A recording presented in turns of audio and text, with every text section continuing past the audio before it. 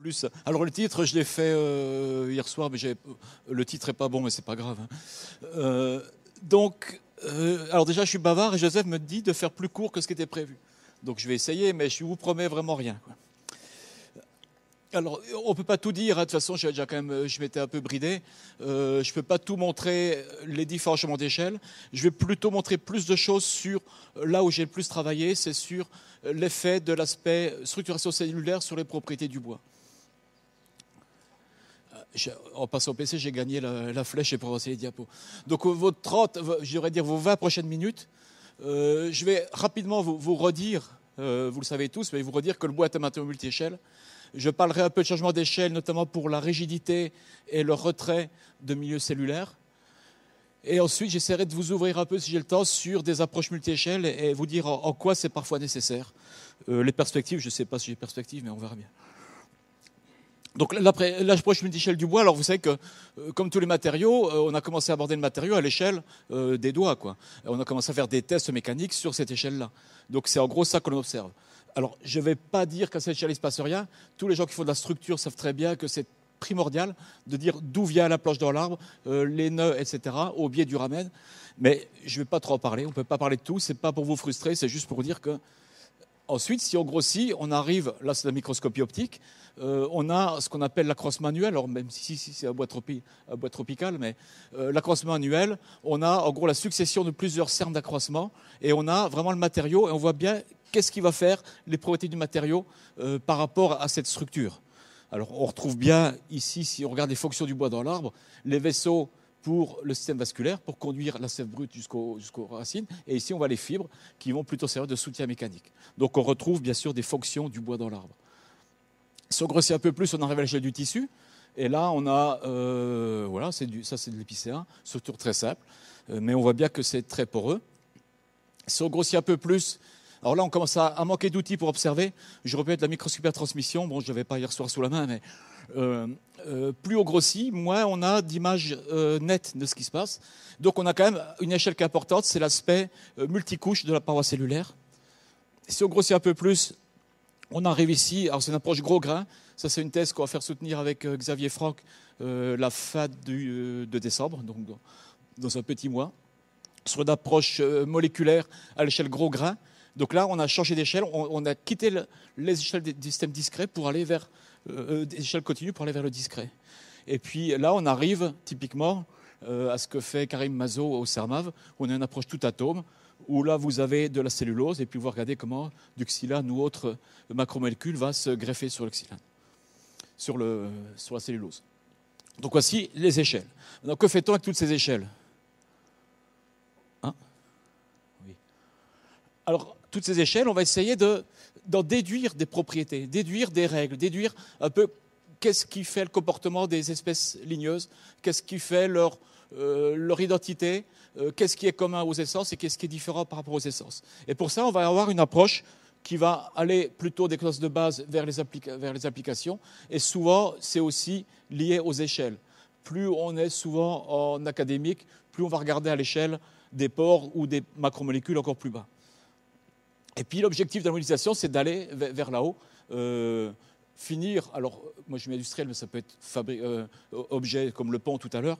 Donc on essaie de partir d'ici par la compréhension, euh, la, pile est un peu faible, pour arriver plutôt vers ici. Alors ceci, avec plusieurs styles d'approche. Je dis la première chose, ce qu'ont fait les mécaniciens, c'est on mesure du retrait, c'est on mesure du richet du bois, on va la mesurer à l'échelle de- voilà, d'un échantillon. Et c'est l'échelle à peu près du matériau qui va être utilisé. Il y a, encore d'autres problèmes d'échelle, mais quand même. Euh, et on a une formulation, on parle de rigidité, de retrait, euh, de module à la rupture, et ceci, on le rentre directement dans les codes de calcul pour dimensionner une structure. Mais on est face à la diversité, face à la, multiplicité des essences ligneuses, face à la, euh, à la variation à l'intérieur d'une essence. On se pose des questions, dire est-ce que l'échelle microscopique, entre guillemets, c'est-à-dire ça comporte plein de choses, peut expliquer euh, les paramètres que l'on met à l'échelle macroscopique. Et là, on va parler de changement d'échelle, de scaling. Parfois, et vous allez le voir, euh, cette approche simple, on va du bas vers le haut, euh, n'est pas suffisante parce que le chargement macroscopique va induire des champs microscopiques qui ne sont pas à l'équilibre. C'est ce que j'essaierai de vous dire en fin d'exposer. Et puis après, on peut toujours envelopper les, échelles et finir par des approches multi-échelles euh, pour arriver à l'échelle de ce qui nous intéresse. Alors j'ai parlé beaucoup de procédés parce que c'est une diapositive que j'ai repris d'une autre présentation, mais peu importe. Je vais passer un peu temps sur le changement d'échelle maintenant. Comment on peut passer d'une échelle dite microscopique à une échelle dite macroscopique. Alors cette section d'échelle, euh, elle peut être euh, très variée sur le bois. Hein, on peut parler des macromolécules pour arriver à la paroi cellulaire. On peut parler de la paroi pour arriver à l'échelle du système d'achèvement cellulaire. On peut parler du tissu pour arriver à la croissance manuelle. On peut parler d'une succession de cernes pour arriver à la poutre, etc.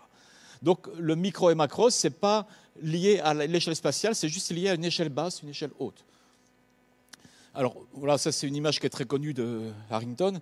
Et ce qu'on va essayer de faire, c'est dire,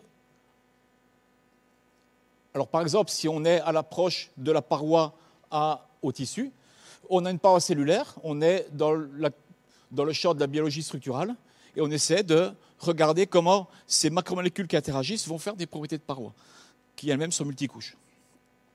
On a le tissu, donc c'est la forme de nos cellules qui résulte de l'activité du, du qui va nous dire un peu la morphologie de comment sont placées ces parois cellulaires dans, dans l'espace.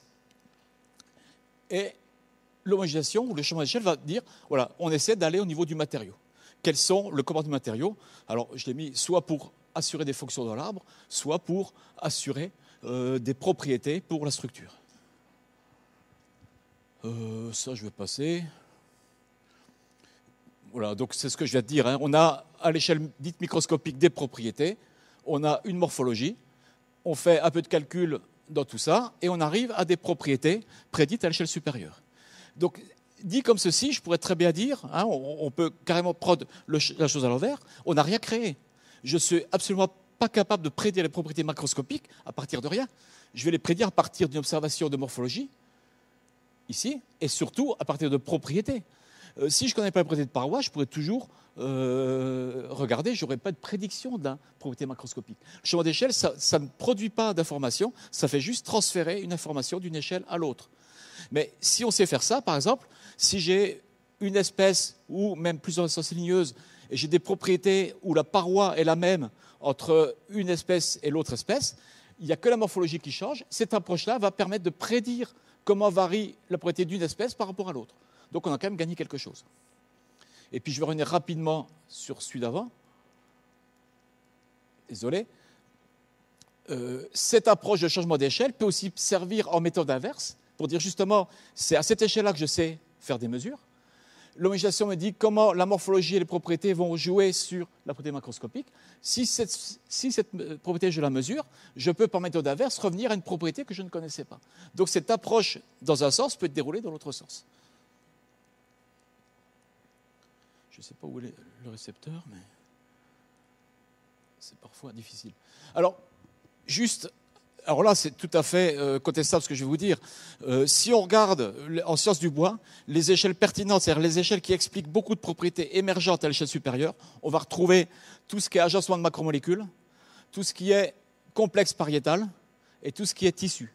Voilà. Ça, on a vraiment des, des échelles qui sont très pertinentes pour expliquer l'émergence de propriétés à l'échelle supérieure, y compris à l'échelle macroscopique, celle de la vie de tous les jours. Mais ça, c'est vraiment sujet à discussion. Il y a plein de gens parmi vous qui ne sont sûrement pas d'accord avec ce que je vais te dire là. Alors, quelques exemples de ce qu'on peut obtenir par changement d'échelle. On a ici la fraction solide, avec ici du bois initial d'épicéa, du bois un peu plus euh, développé, et du bois final, et ici la dernière couche de bois final. Et on peut voir que les propriétés, la rigidité ici, va augmenter, bien sûr, avec la fraction solide, mais on voit qu'elle n'augmente pas de la même façon en tangentiel et en radial. On voit que le radial est plus rigide que le tangentiel, donc on a une anisotropie qui est connue dans le cas du bois. Euh, mais on voit aussi que lorsqu'on va vers le dernier liseré, finalement, le gain en rigidité radiale finit par s'estomper, alors qu'en tangentiel, on a un gain très fort. Et on finit par inverser le rapport d'isotropie. Donc ici, le rapport, il doit être ici. Là, c'est quelque chose qui est isotrope. Euh, dans cette zone-là, on a bien sûr une rigidité radiale plus forte que la tangentielle, c'est ce qui est mesuré et prédit et connu. Mais si je regarde dans cette partie-là, le rapport d'isotropie s'est inversé. Et ça, c'est expliqué uniquement par la morphologie des cellules. si on fait des mesures de retrait, des mesures de retrait, on a encore une fois le retrait tangentiel, le bois initial, le bois final, ça, ça va être sur de l'épicéa. Euh, ici, on est sur du bois dit normal et ici du bois de compression. Et le bois de compression, finalement, la trajectoire est très différente. Le bois initial du bois de compression est très proche du bois initial du bois normal, mais on a un moment où les retraits sont plus petits et le coefficient d'inotropie est aussi inversé par rapport à ce qu'on a l'habitude de rencontrer sur le bois. Et différence, cette contraste entre bois initial, entre bois de compression et bois normal fait que, par exemple, cette, euh, cette rondelle-là, lorsqu'elle a séché, le retrait ici est plus fort que le retrait ici, et ça a fissuré parce qu'il y a contraste de retrait à l'échelle macroscopique. Maintenant, juste une petite question, une interrogation. Si on fait la même chose pour prédire le retrait, qui est quand même une propriété importante du bois, si je prédis le retrait par la morphologie des cellules, et si, comme jusqu'à toutes les dias, jusqu'à euh, celle d'avant celle-ci, on fait l'hypothèse que la paroi cellulaire dans le plan transverse est isotrope, eh bien, on arrive à un écueil, c'est-à-dire qu'on n'arrive pas à expliquer pourquoi le retrait des tissus du bois est, est, anisotrope. Euh, J'explique, c'est quoi? Le retrait du bois, c'est comme une dilatation thermique pour les mécaniciens. J'ai un milieu ici qui est plein, je le chauffe, il va se dilater, ou je retire l'eau, il va se retirer. Maintenant, le même milieu, je fais des trous dedans, je fais la même opération de retrait hydrique ou de dilatation thermique, j'aurai exactement quelque chose qui va rester isotrope. Donc les trous vont fragiliser vont rendre plus souple la structure mécanique. Si les trous sur l'inisosence, ils vont la rendre plus souple dans une direction par rapport à l'autre. Donc la morphologie des tissus peut expliquer l'anisotropie au niveau des tissus, mais ne peut pas expliquer l'anisotropie du retrait. Donc pour expliquer l'anisotropie du retrait, il faut deux choses. Il faut la forme des cellules et il faut l'anisotropie locale de la paroi cellulaire elle-même. vous voyez, là, on commence à vous dire que la paroi cellulaire est très pertinente pour expliquer des protéines macroscopiques. Alors comment on fait ça? Ben, On peut faire du maillage et puis on fait des calculs dessus. Alors je ne sais plus, c'est bien de transparence. Donc en gros, euh, rapidement, euh, ça c'est observé sous microscope environnemental à l'état saturé. C'est des cellules, enfin des trachéides initiales de, de, la zone initiale d'épicéa. On fait du séchage sous le microscope et vous voyez que non seulement il y a du retrait bien sûr, mais le retrait est en particulier ou partiellement lié à la déformation des trachéides elles-mêmes on a quelque chose qui est plutôt hexagonal ici et qui va se retrouver plutôt en rectangle ici. Et cet aspect-là, on arrive à le remodéliser par euh, par les morphinides en, l'occurrence. Donc on fait un changement d'échelle où localement on a dit qu'on a des directions locales d'isotropie. Et là, j'ai un milieu qui n'est plus isotrope, mais vous voyez, on a les petits points ici, les petits traits, qui vont spécifier la direction locale d'isotropie qui va répondre au développement de la cellule lorsque la cellule était vivante et elle a formé sa paroi secondaire. Et en mettant les deux à la fois, on a à l'émergence au niveau, au niveau du tissu, on a bien l'émergence d'anisotropie de retrait, alors que euh, voilà. Et là, c'est une vraie compréhension de comment se passe ce retrait dans le bois. Alors, juste un petit résultat. Euh, si on essaie de prendre ce qui existe dans la littérature, c'est ce que j'ai fait en l'occurrence, pour dire voici les protéines moyennes des parois en fonction de l'angle moyen de microfibrie. Et si on met dans le code de prédiction de, la modélisation à euh, l'échelle microscopique, euh, si on met l'angle de, microfibrie, on voit que l'insotropie du retrait, pour un angle de zéro, j'ai une paroi, une paroi à l'échelle locale qui devient isotrope, donc le ratio de retrait est égal à 1. Et lorsque la paroi devient anisotrope, on a quelque chose où on voit que le rapport retrait radial sur tangentiel commence à approcher des valeurs que l'on mesure en pratique. Si je fais la même chose sur la rigidité, on voit très bien que ça n'a pratiquement aucun impact sur le rapport d'entropie de rigidité. Ça a un impact sur la valeur de rigidité. Hein. J'ai mis que le ratio ici. Ça a un impact sur, la valeur, mais pas sur le rapport. Et vous voyez bien que même pour quelque chose qui est isotrope, on a un ratio de rigidité qui n'est pas égal à 1, parce que la structure des trous, en gros, par le simple, va jouer sur la rigidité et sur son, sur son anisotropie. Alors maintenant, je vais juste... Alors j'ai commencé à quelle heure, Joseph? Non. J'ai commencé à quelle heure? Non, mais voilà, mais je peux raccourcir un peu, mais quand même, je vais vous montrer quelques belles images quand même. Hein, Alors, juste, là, ce que je vais faire un aparté, euh, il y a des choses qu'on peut faire aujourd'hui qu'on n'aurait pas pu faire. Jusqu'à maintenant, euh, il y a 10 ans, 15 ans, on aurait pu faire la même chose. Euh, ce que je vais vous montrer maintenant, c'est possible parce qu'on a eu beaucoup de progrès dans les outils numériques expérimentaux. Outils expérimentaux pour collecter de la morphologie, outils numériques euh, pour aussi bien méthode numérique hardware pour pouvoir faire du calcul sur des, grosses choses. Alors, il y a toute une famille, c'est vraiment un écosystème de méthodes numériques qui existe aujourd'hui.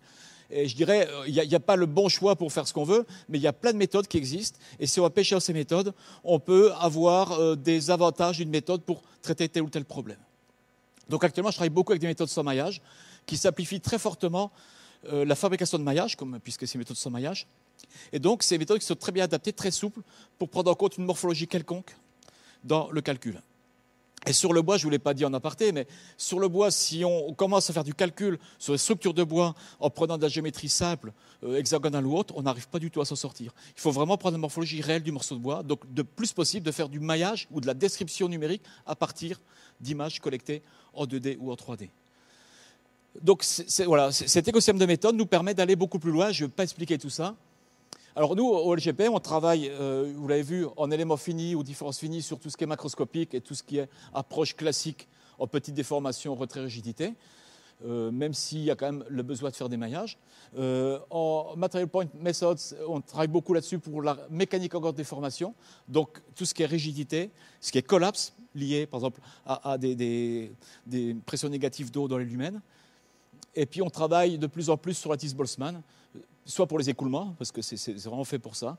Euh, la Boltzmann, c'est une méthode sans maillage qui permet de faire du euh, résoudre les écoulements de Navier-Stokes, donc c'est assez facile. Euh, on peut faire du diphasique, donc la pression capillaire de milieu poreux, c'est aussi très puissant. Et actuellement, nous l'utilisons pour faire des transferts chaleur-masse, parce que la Boltzmann devient de plus en plus une méthode générique de résolution d'équations euh, différentielles. Alors, je vais vous montrer alors, c'est quelques images, je peux parler beaucoup, très loin. Hein. Donc, voici, typiquement, on part d'une image, ça c'est au microscope électronique, on fait des contours, et grâce à ces contours, on va faire une collection de points matériels, et en ne gardant que les points matériels qui sont dans la paroi cellulaire. Donc, ça, c'est un peu de. Voilà, on arrive à faire. Et ça, c'est une description du même, euh, de la même structure cellulaire à partir de points matériels. Volontairement, la résolution est dégradée ici pour qu'on voit les points, sinon on ne voit plus les points. Puisqu'on a les contours aussi, on va utiliser les contours pour retrouver et euh, reconstruire des directions locales d'isotropie qui dépendent du contour des deux cellules les plus voisines. Et avec ceci, on a une description, voyez, ça c'est un peu grossi. Euh, chaque point matériel euh, donne des informations au niveau mécanique et on a des directions qui vont donner les directions locales d'anisotropie. Et on voit bien que bien sûr ces directions varient dans l'espace et c'est bien sûr pour ça que l'on fait du calcul. Et puis on peut faire ici de la mécanique en grande déformation, donc on peut écraser. C'est une méthode très robuste, donc on écrase. Vous voyez, on voit bien des, rangées de, de trachydes qui s'écrasent. Euh, je vais assez vite, hein, c'est pas juste pour l'image. Et, comme on traite tout ça en grande déformation, vous voyez bien que non seulement on a les directions locales d'isotropie, mais que ces directions vont suivre le champ de grande déformation. Et c'est aussi un requis pour pouvoir faire du calcul euh, raisonnable. Et on retrouve ici, donc ça c'est quelques images, on voit des zones de cisaillement qui sont très fortes, et on retrouve un essai classique euh, contrainte déformation sur un milieu euh, cellulaire, avec une petite zone élastique euh, réversible linéaire, et après on commence à avoir le plateau de compression jusqu'à avoir des parois qui sont en, contact les unes contre les autres. C'était pas tout ça. Donc là, on peut aussi faire du collapse. Donc ici, avec la même méthode, on met une pression liquide ici, et si on diminue la pression liquide, on va avoir du collapse. Alors ce que l'on trouve assez fortement, c'est que la structure cellulaire va définir un collapse. Alors ça, c'est du collapse mesuré sur l'eucalyptus. Hein. Vous voyez bien que ça, ça, ressemble pas mal. Et ce qu'on voit aussi, c'est qu'en fonction de la pression euh, d'eau négative, hein, c'est la valeur absolue, on voit que la déformation radiale liée au collapse est beaucoup plus petite que la direction tangentielle, et c'est exactement ce qu'on observe quand on fait des mesures de collapse sur, euh, sur de vrais morceaux de bois. Autre cas de figure, c'est la compression tangentielle de peuplier, donc essai mécanique fait sous microscope euh, environnemental. Euh, donc le peuplier, on a bien sûr les fibres et les, et parenchymes, et on a les, les vaisseaux, donc on voit bien qu'on a deux niveaux de porosité, et c'est ces deux niveaux de porosité qui, ensemble, vont faire un comportement de structure. Là, c'est une compression, alors c'est une direction radiale, c'est une compression en tangentielle, et on voit qu'on retrouve ce petit, alors ça c'est mécanique, hein. on retrouve cette partie linéaire élastique, et à partir de là, le plateau de compression, et le plateau de compression, on voit que les, gros vaisseaux sont les premiers éléments, sont les moins rigides, et c'est les premiers éléments qui se déforment. Et une fois qu'ils sont complètement déformés, on va commencer à déformer le reste. Voyez à partir de là, on commence à voir des zones qui sont complètement déformées. Et bien ça, grâce au moyens de calcul actuel, on peut faire sur une vue à haute définition de, peuplier en l'occurrence, on peut faire des contours et on peut créer euh, une collection de points sur ces contours-là. Alors là, on, parle de 100 000 points pour avoir une bonne résolution. Donc voici, là, il n'y a que les points qui sont, tracés à l'écran. Vous voyez bien qu'on reconnaît très bien la structure du peuplier. Et là, euh, alors ça c'est une vue grandie où vous voyez bien qu'on a à la fois description des gros ports, les vaisseaux, et tous les, lumens, des fibres et, des, des parachimes. Et puis on peut faire du calcul par MPM, donc pareil. Et on voit très bien que les vaisseaux s'écrasent. Et une fois que les vaisseaux sont écrasés, euh, pardon, enfin bon, j'ai pas été assez loin, mais une fois que c'est écrasé, on va commencer à écraser cette petite porosité qui est beaucoup plus euh, rigide je me suis trompé dans les titres, peu importe. Même, même euh, peuplier, cette fois-ci en compression radiale. Et là, on voit que ça se passe un peu moins bien, parce qu'en compression radiale, les, vaisseaux, ils sont déjà un peu allongés en radial. Donc si j'appuie comme ça, ils vont s'écraser. Si j'appuie dans l'autre sens, on voit bien qu'il y a de l'effondrement. regardez ici, euh, ça s'effondre les uns dans les autres. On, voit vraiment des choses qui sont, c'est beaucoup moins sympathique. Hein. ça, s'écrase beaucoup plus, on décrade beaucoup plus sa structure. Et si on prend le même morceau tout à l'heure, mais je le je suis ici dans l'autre sens, ben on voit pareil, des ruptures et on voit des choses qui, qui ressortent très fortement à la réalité. Voilà, c'est les belles images dont je vous parlais. Euh, je vais parler d'approche multi-échelle. Alors là, c'est de la diffusion dans des milieux fibreux.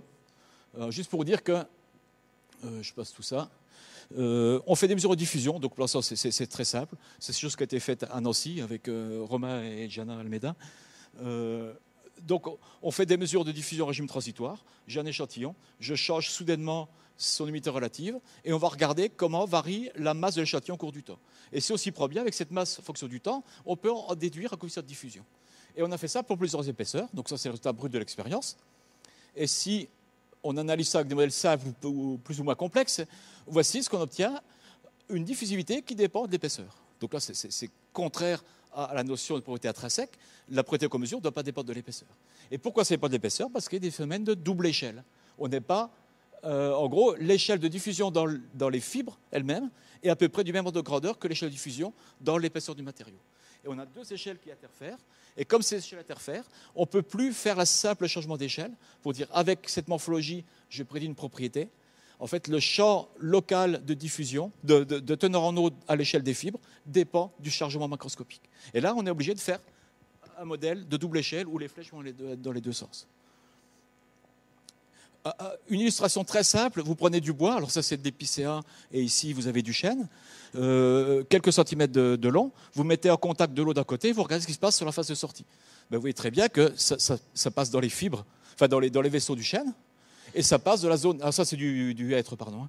et ça passe de la zone initiale du hêtre qui est plus perméable que la zone de bois final. Et on voit très bien qu'à cette échelle-là, j'ai mis de l'eau en contact sur une face, ce qui sort de l'autre face, on voit très bien que le champ n'est pas à l'équilibre. J'ai l'humidité ici et pas là. Donc je vois bien que j'ai des champs, des gradients locaux de teneur en eau qui ne répondent pas à un modèle macroscopique. Donc il faut aller un peu plus loin. Alors je pense que je vais vous passer tout ça. Une façon macroscopique, une façon microscopique, et puis euh, du couplage entre les échelles. Et puis on arrive à des choses comme ceci. Je simule par un modèle double échelle. Donc j'ai un champ actualisé au cours du temps dans chaque fibre et dans l'ensemble du matériau. Et qu'est-ce que l'on obtient? Sur un milieu qui n'est pas très épais, qu'est-ce que l'on voit? On voit que la, fibre du haut et la fibre du bas, par rapport à l'endroit où je perturbe, suivent la même trajectoire. Donc c'est-à-dire que ce matériau, pour cette épaisseur-là, est complètement gouverné par le temps de diffusion de la fibre. Si j'augmente l'épaisseur, je vais finir par avoir une grosse différence où la fibre qui est située en face avant va bouger beaucoup plus vite que la fibre qui est située en face arrière. Donc là, on a traversé les échelles et en augmentant l'épaisseur, on augmente le temps de diffusion macroscopique et on arrive à quelque part finir par masquer l'échelle de temps caractéristique de la fibre. Pour ceux qui regardent le temps, j'ai bientôt fini. Donc euh, voilà, ça, je vais passer tout ça.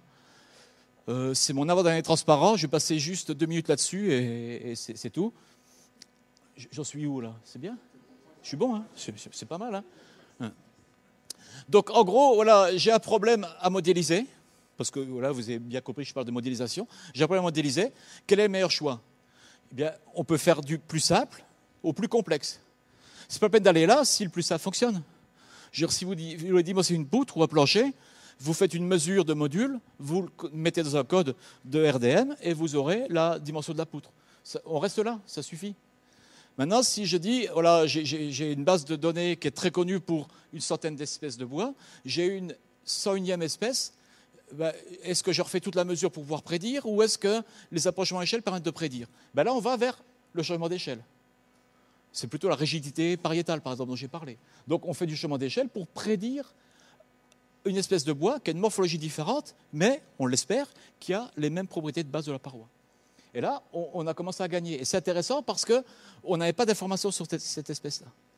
Après, on est tout ce que je vous ai dit, quand on a deux échelles de temps qui interfèrent, et eh bien là, on n'a pas le choix. Il faut absolument recalculer le champ microscopique parce que le changement macroscopique change ce champ microscopique au cours du temps. Et puis là, c'est quand on commence à empiler les échelles. Euh, je vous laisse ça pour plus tard. Et c'est ma dernière transparent.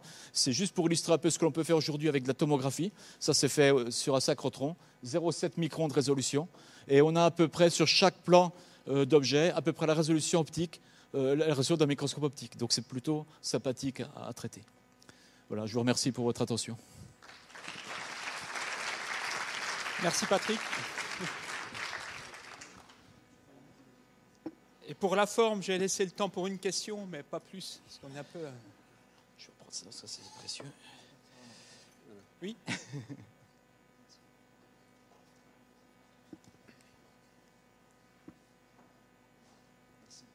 Bonjour.